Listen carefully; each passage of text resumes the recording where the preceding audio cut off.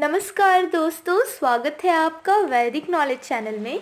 आज हम आपको बताएँगे पापन कुशा एकादशी कब है और व्रत का महत्व। आज का ये वीडियो स्टार्ट करने से पहले अगर आपने चैनल को सब्सक्राइब नहीं किया है तो प्लीज़ इसे सब्सक्राइब करें और साथ ही बेल आइकन को भी दबा दें ताकि आपको हमारे चैनल के नए नए अपडेट्स मिलते रहें।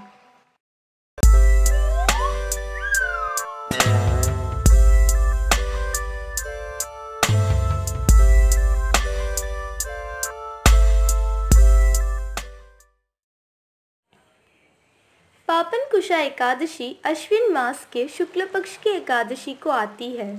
इस बार यह 27 अक्टूबर को है। मान्यता है कि अगर एकादशी व्रत किया जाए तो व्यक्ति अपने अशुभ संस्कारों को भी नष्ट कर सकता है।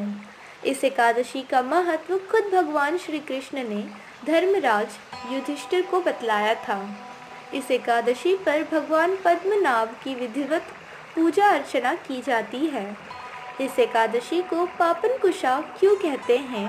इसके लिए भी एक कथा प्रचलित है, जिसका सार यह है कि पाप रूपी हाथी को इस व्रत के पुण्य रूपी अंकुश से वेधने के कारण ही इस एकादशी का नाम पापन कुशा एकादशी पड़ा है।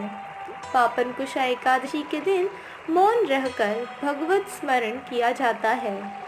साथ ही भोजन का भी विधान है।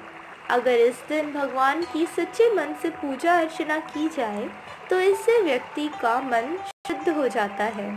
मान्यता है कि इस एकादशी के दिन अगर भगवान विष्णु और भगवान शिव की आराधना की जाए तो व्यक्ति को सुख समृद्धि की प्राप्ति होती है।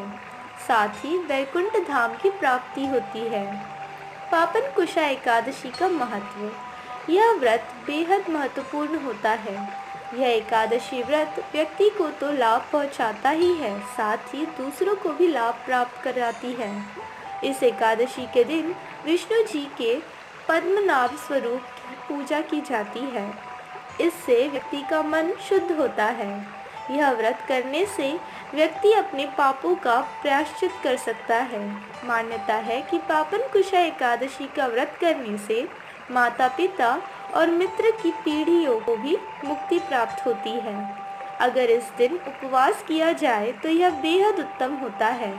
इस दिन शाम को सात्विक भोजन किया जाता है। इस दिन चावल का सेवन न करें। रात के दौरान पूजा कर व्रत खोलने का विशेष महत्व होता है। कोशिश करें कि व्रत वाले दिन किसी भी व्यक्ति पर क्रोध ना करें। ये थी जानकारी पापन कुशा एकादशी के बारे में। अगर आपको ये वीडियो पसंद आया हो तो प्लीज़ इस वीडियो को लाइक करें, शेयर करें और कमेंट करें। धन्यवाद।